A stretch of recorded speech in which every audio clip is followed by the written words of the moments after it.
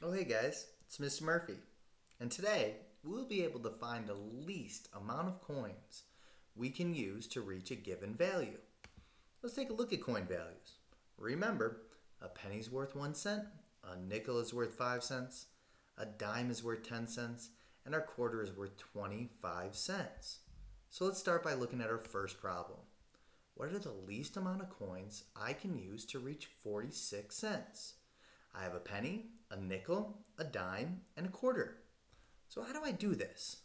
The way that I like to do it is I like to start with my largest coin value and work my way down. Can I fit 25 cents into this value? Yeah, 25 cents would fit just fine. Now, what about if I added another quarter? Could I do that? No, there's no way. Two quarters would get me to 50 cents. That's too much. So I go to my next largest value, my dime.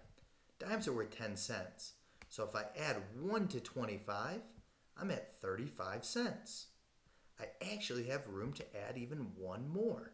That puts me at 45 cents. Well, I'm one away now. Which one of my coins will help me get there? Hmm, my penny. My penny's worth one cent.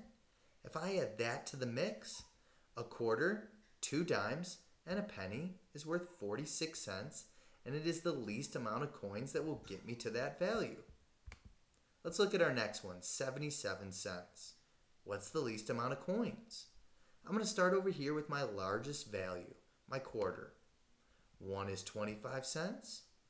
I can add another one to it. That will put me to 50 cents. I'm getting closer, but I'm not quite there yet. Can I fit in one more quarter? You know it. Three quarters will get us to 75 cents. I sure can. That puts me only two away from my goal of getting to 77 cents. Again, I'm going to use my good old penny to get me the rest of the way. One and two.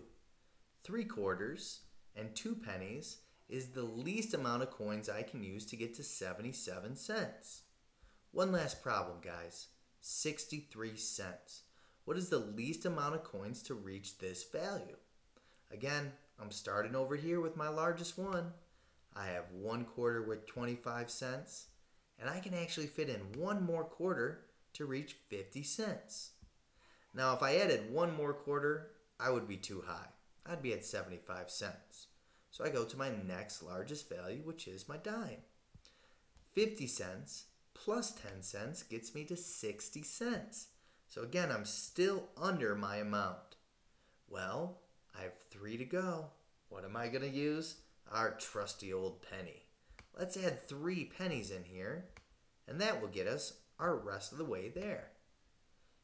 Two quarters, one dime, and three pennies is the least amount of coins that will get us to 63 cents.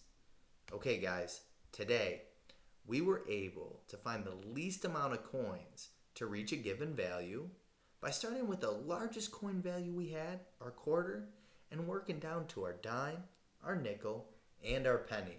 Hope you guys had fun. I want you to go out and try it. Give your very best.